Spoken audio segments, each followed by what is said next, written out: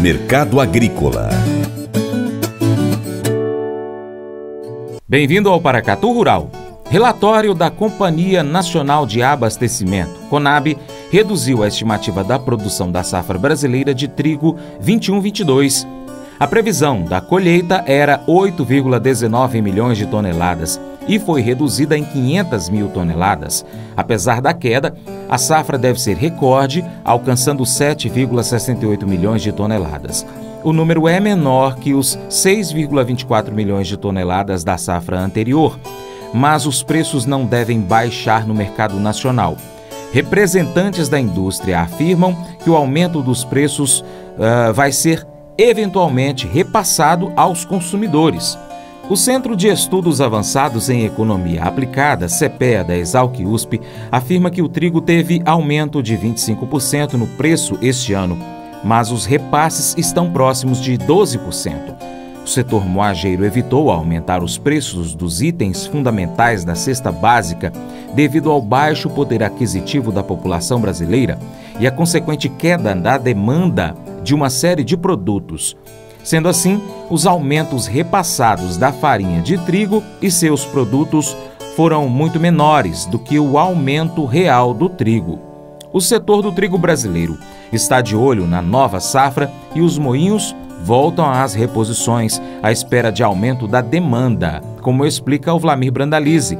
Boa expectativa de giro com mais consumo. O mercado internacional do trigo também teve o USDA, sem grandes novidades, mas um quadro um pouco ajustado também. E aqui no Brasil, o mercado já de olho na nova safra, né? Porque o trigo segue na faixa de R$ 1.600 a tonelada, Moinhos voltando às reposições, Moinhos acreditando que agora com a nova parcela do Auxílio Brasil vai girar mais derivados do trigo aí para os consumidores, macarrão, farinha, pães, automaticamente isso gira mais trigo e mais reposições e apelo positivo aí para o segmento. Na faixa de R$ 1.600 a tonelada e alguns locais pagando mais, com boas expectativas aí de giro nesse mês de fevereiro. Devemos ter mais pressão de compra aí nesses próximos dias para o trigo. Todo mundo de olho aí no novo plantio do trigo, boas expectativas, produtor correndo aí para buscar sementes. Tudo indica que vamos ter uma área maior aí no trigo nessa nova temporada. O trigo também segue com um quadro relativamente positivo aí para o produtor nesse momento.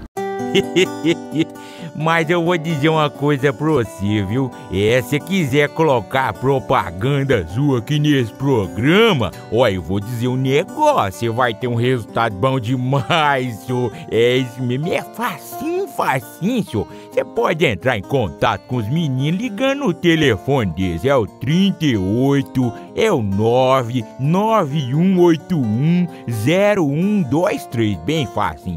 É muito bom porque aí a sua empresa vai sair dentro de um programa que é ligado aí ao homem para mulher do campo. É nós que vai estar tá assistindo e também vai ver sua propaganda. É bom ou não é, só?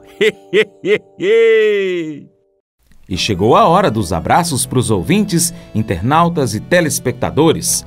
Kel Veiga, César Guimarães, Igor Camargo, de Alegrete, Rio Grande do Sul, Fabiano Caboclo, Vilmar, Manuela Palma, também para Adriana Fernandes, Luiz Henrique Guimarães, Ricardo Caldeira, Eliane Mendes, Marcelo Caixeta, Gustavo Costa, Bruna Melo, Matheus Batista, Mirelle Antônio Correia, Danilo S18, Denise Gonçalves, Lucas Araújo e Larissa Araújo. Também para o Arley José e para Cleide e Ataíde na Fazenda Lages. Lembre-se de curtir, comentar e compartilhar o nosso conteúdo nas suas redes sociais. Seu Paracato Rural fica por aqui. Muito obrigado pela atenção. Um excelente final de semana, uma boa semana para você também que está assistindo já no início desta semana. Um beijo para minha esposa Paula. E você planta e cuida, né? Pois é, Deus dará o crescimento. Confie nele. Até o próximo encontro. Que Deus te abençoe, abençoe a sua família. Tchau, tchau.